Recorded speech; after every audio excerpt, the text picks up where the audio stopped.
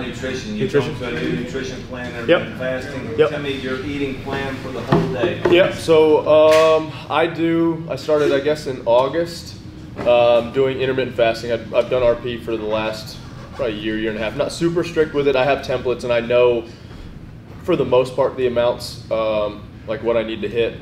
And I tried to combine those into the, the eight hours. Um, but actually, Nick from RP, the last probably I guess five or six months ago, he was like, "Hey, let's actually," because they're really they really wanted me to eat in the morning, but since I've been doing the intermittent fasting, so I go 1 p.m. to 9 p.m. I'll eat all my calories within that time, and I don't restrict any calories. I try to get as many calories as I can within um, that time.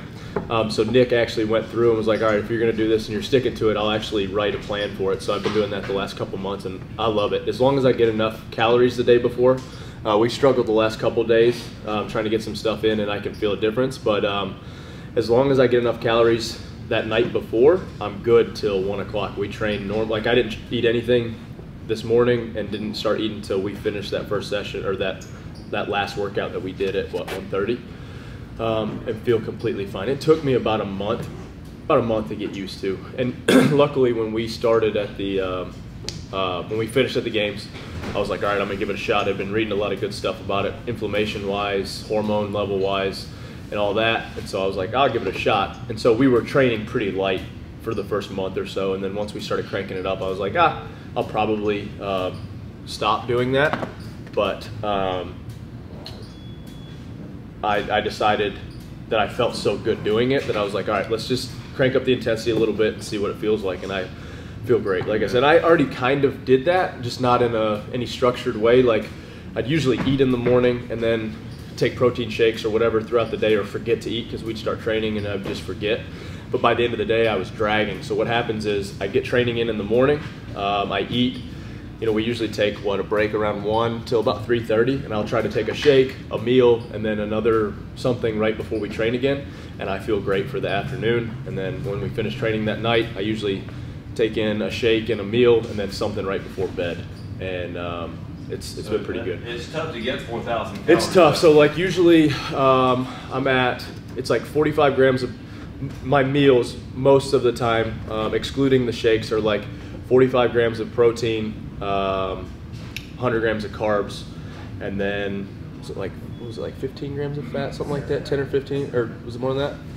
Tasia was helping me actually like plan out the meals a little bit, so she knows some of it. But um, it uh, I, I like it a lot. I feel really good with the, the intermittent fasting. Uh, at first, I lost probably what eight, eight to ten pounds, and then now I'm back to normal, about 195, 196. Um, but yeah, I, I feel great.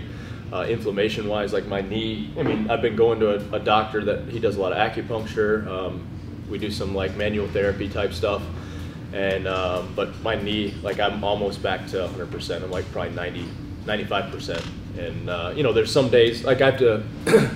some days are better than others, but I have more good days than I do bad now, and my bad days are better than what my good days used to be. So, um, between the doctor, the diet, and all that stuff, I feel feel better than I have in probably five or six years. Coffee or spark in the morning or water? Water? So, funny story. I've never, I don't drink coffee. Never drank coffee before, um, and I used to drink Spark, but I was drinking absolutely nothing in I, water all morning.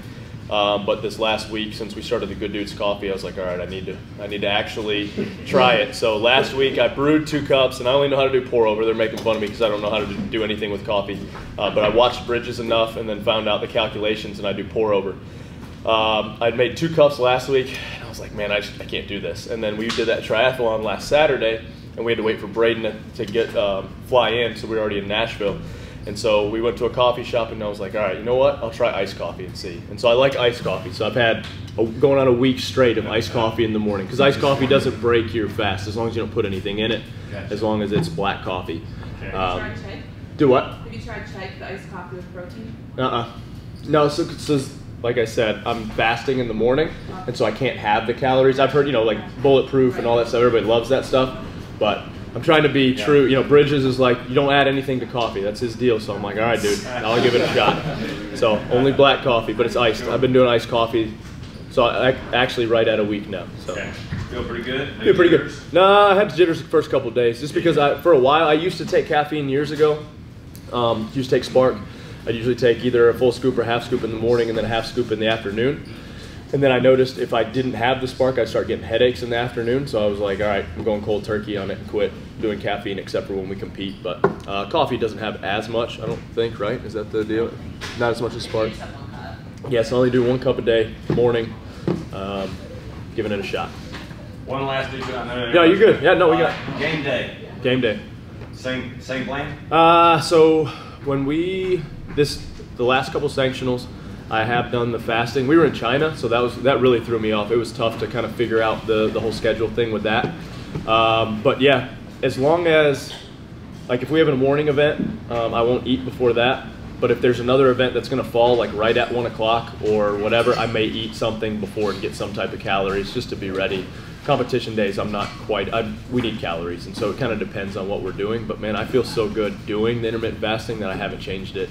I've tried. I've really, for when we were in uh, Columbus, I pretty much did the whole thing because the, the events kind of fell uh, at good times to do it. So I'm used to. it. I mean, we go hard Okay. from 9:30 till 1 and I never really get that hungry. As long as I'm stay busy, I don't think about food. Sundays are hard because we don't train as much.